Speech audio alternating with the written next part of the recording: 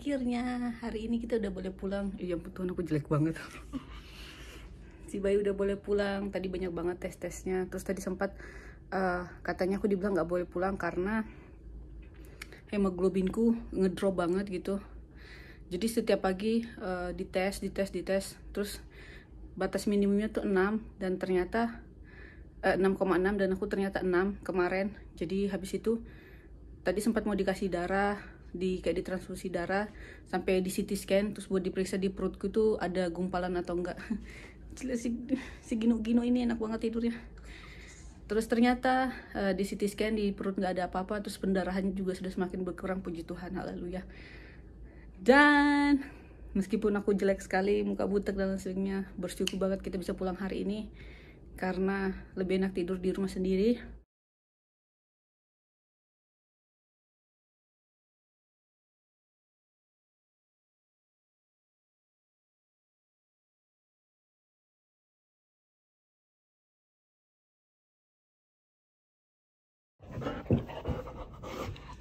She's trying to jump on me. My stitches still kinda. Easy.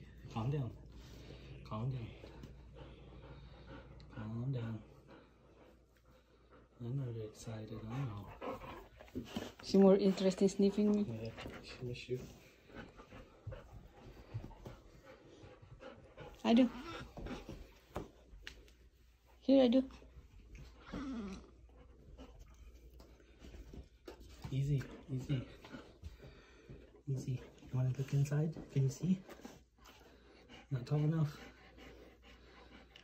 It's a bite. You see him?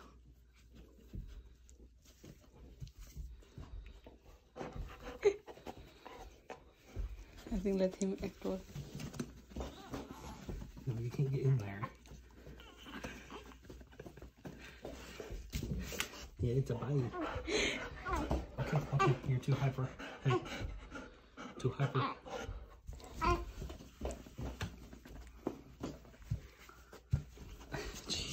Okay, that's enough. You're gonna calm down first.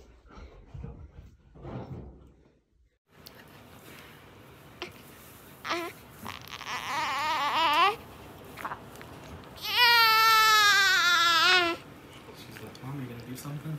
It's making noises.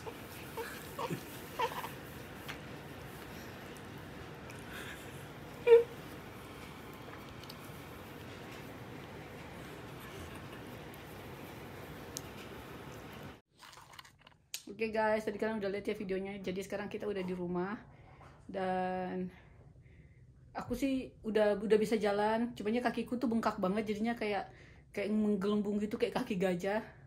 Dan sekarang juga eh, bekas jahitannya juga masih sakit.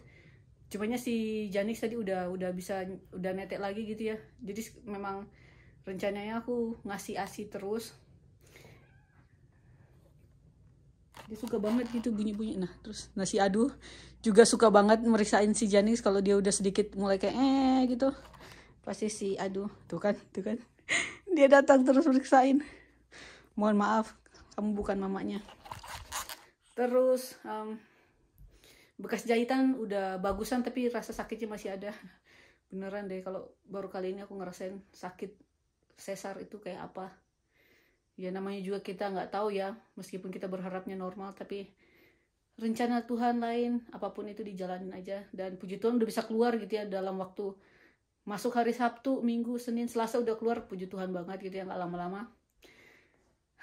Terus apalagi dia udah nyusu tadi eh, jadi tidur udah mulai dari jam 4 terus aku dikasih tau susternya kalau usia usia kayak gini harus makan sekitar 8 sampai 12 eh, kali per hari. Jadi sekitar per tiga jam gitu harus dibangunin terus disusuin.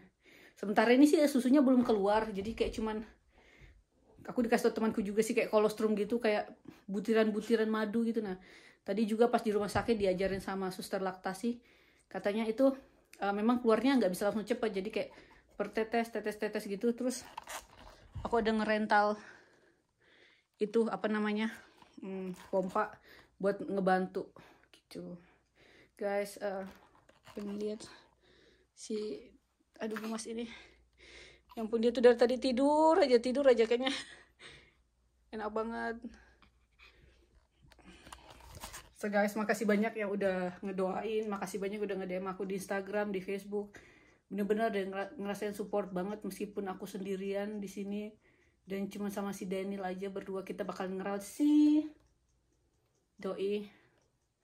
Tetap semangat. So guys, tetap update terus ya keadaan kita di sini biar kalian tahu, biar keluargaku juga di Indonesia tahu semuanya.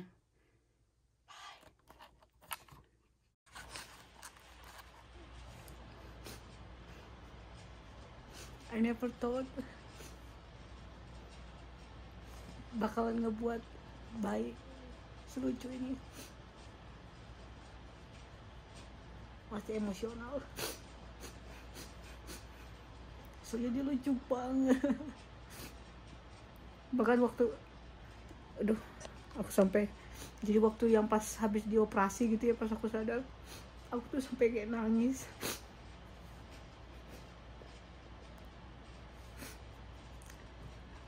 Nangisnya karena emosional gitu kayak bahagia banget akhirnya meskipun sakit tapi kayak bener-bener sampai cuman sayang banget waktu itu aku juga ngeliat Daniel udah berkaca-kaca gitu. Jadi meskipun masih di bawah bius ini air mata bahagia ya bukan? Bener-bener bahagia banget kayak puji Tuhan banget gitu ya bisa. Maksudnya sehat gitu meskipun sempat awal-awal tuh katanya ada placenta previa terus habis itu sempat pendarahan. Terus habis itu eh, pecah ketuban juga terus nggak- bisa lahiran normal tapi bersyukur banget gitu nggak bisa keluar. Mungkin ibu-ibu yang ngelahirin gitu ya atau yang pernah ngeliat bayi kayak gini tuh ngerasain hal yang sama kayak aku juga. Bener-bener. Aku nggak tahu dia bakal ngepost uh, video ini atau enggak tapi buat jadi kena kenangan aja. Kalau kamu gede nanti aku jarang banget orang yang nangis. Tapi bener-bener pas ngelahirin tuh kayak sampai mewek.